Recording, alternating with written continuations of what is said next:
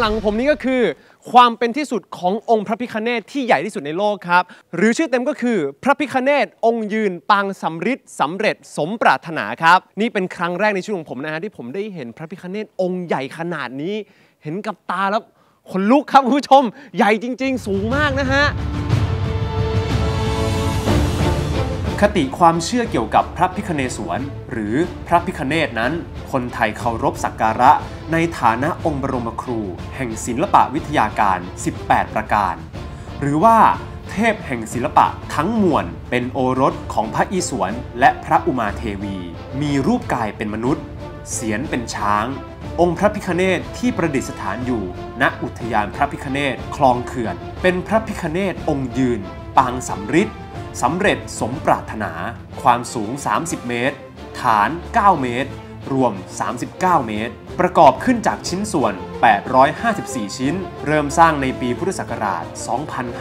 2552 โดยสมาคมชาวฉะเชิงเซา นับว่าเป็นพระพิคเนตองค์ยืน เนื้อสำริดที่มีขนาดใหญ่ที่สุดในโลกครับ และตอนนี้ครับผมก็อยู่กับพี่คำหนึ่งนะครับ ผู้ดูแลอุทยาน พระพิคเนตคลองเขื่อนนะครับ วันนี้พี่เขาจะมาให้ข้อมูลความรู้ต่างๆ กับเรา แล้วก็พาเราเที่ยวชมอุทยานแห่งนี้ครับ สวัสสดีวัสคดีรัครับบวิกเตอร์ครับ สวัสดีนะครับ ช่วยเล่าถึงที่มาที่ไปหน่อยนะฮะการสร้างพระพิคเนตองค์ใหญ่ขนาดนี้เริ่มได้ยังไงครับ เริ่มด้วยโดยได้รับเอ่อความกรุณาจากท่านเจ้าวาดวัดโสธรวัดโสธรวัดหลวงพ่อโสธรเราครับวัดชื่อดังเลยของฉะเชิงเซาให้ทอง ที่ลอกจากองค์พระพระพุทธโสธรเนี่ยครับ ส่วนหนึ่งเนี่ยเอามาทำเป็นพระเรียกว่าพระรุ่นทองประธานที่มีอยู่ครับนะผมแล้วก็ออกจำหน่ายเพื่อให้ประชาชนแล้วก็คนที่สนใจได้ร่วมกันทำบุญครับได้เงินมาส่วนหนึ่ง เราก็คิดว่าเราควรจะสร้างอะไรล่ะ ที่ไม่ซ้ำกับหลวงพ่อโสธรฮะแล้วก็ทำให้ชุมชนแห่งเนี้ยหรือว่าท้องถิ่นแห่งเนี้ยเจริญครับอ่า หลังจากนั้นมาเนี่ยเราก็คิดว่าเออพระพิคเนตเนี่ยได้รับความนิยมมากขึ้นเรื่อย ๆ ก็คิดว่าจะสร้างพระพิคเนตแล้วกัน ก็มีจัดการประกวดปั้นพระพิคเนตประกวดแล้วได้ที่หนึ่งครับออกมาเป็นรูปแบบอันนี้คือเราเรียกกันง่าย ๆ หรือว่าเรียกกันในภาษาคือปางเกษตร เป็น เกี่ยวกับเกษตรใช่ไหมปางเกฮะษตรครับปางเกษตรครับมือนี้ฮะอะเดี๋ยวเอาแต่ละมือเลยดีกว่าว่าอ้าวมีอะไรครับบ้างเอาฝั่งนี้ก่อนฝั่งด้านซ้ายอ่าขหัอนงหน้าขครับององค์ท่านครับนะฮะเราหันหน้าเข้าสมมติครับท่านหันหน้าลงมาครับแบบนี้ครับฝั่งด้านซ้ายของท่านเนี่ยมีครับอะไรบ้างฮะครับไล่เลยครับซ้ายล่างซ้ายล่างเป็มะม่วงก่อนมะม่วงมะม่วงครับเออผมจังหวัดสัฉะเกตเชิงเซามะม่วงอร่อยอ่าแล้วก็อ่าด้านบนนะฮะบนซ้ายบางคนบอกนึกว่าศาสตราวุธไม่ใช่ อ้อย ท่อนอ้อยอะ ที่เราเห็นท่อนอ้อยอะท่อนอ้อยอ๋อนั่นไงมีข้ออ่ามีมีเหมือนข้อเป็นเป็นข้อครับของของอ้อยครับอยู่นะครับฮะนั่นคืออ้อยอ้อย ความหมายคืออะไรครับ อ้อยเป็นพืชที่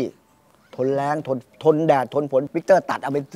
วางไปกับพื้นเนี่ยก็ขึ้นแล้วก็ขึ้นแล้วอ๋อเออเป็นไม้ที่ขึ้นง่ายนั่นเอง ความอดทนครับมีอยู่ แต่ว่าสิ่งที่ให้คือความหวาน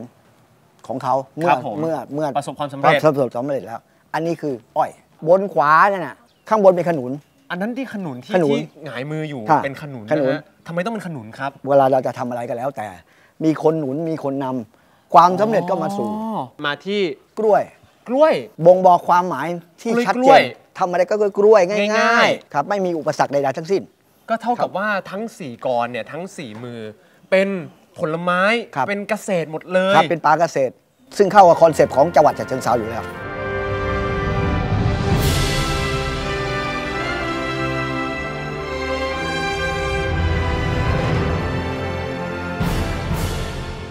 โอ้โห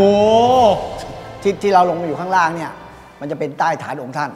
ครับวิกเตอร์ดูอะเงยหน้าขึ้นไปมองมือท่านอะวิกเตอร์จะบอกโอ้โห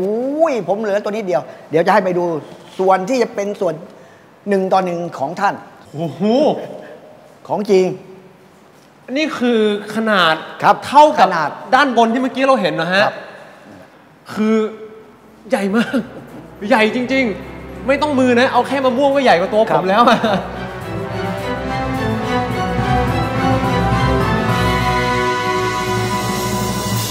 เหตุผลในการสร้างแยกฮะทำไมต้องมีการจำลองเป็นมือของท่านอยู่ตรงพิพิธภัณฑ์ด้านล่างด้วยฮะ เอามาลงมาจำลอง เพื่อให้เราดูว่า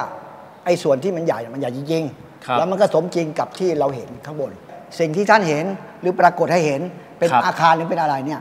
ได้รับการบริจาคหรือจากผู้มีจิตศรัทธาร่วมกันสร้างครับ อันนี้ก็เป็นความภาคภูมิใจของพวกเรานะคครัรับบผมแล้วก็อยากเชิญชวนให้ท่านซึ่ง มาเที่ยวแปดริ้ว จังหวัดฉะเชิงเซาของเราเนี่ยครับมีโอกาสได้ไหว้หลวงพ่อทศธรขอพรพระ เสร็จแล้วก็มาไหว้พระพิฆเนศของเขื่อนครับนะครับ วันนี้ต้องขอขอบคุณพี่คำหนึ่งมากที่พาเราเที่ยวชม แล้วก็ให้ความรู้ต่างๆกับเรานะครับขอบคุณครับขอบคุณครับ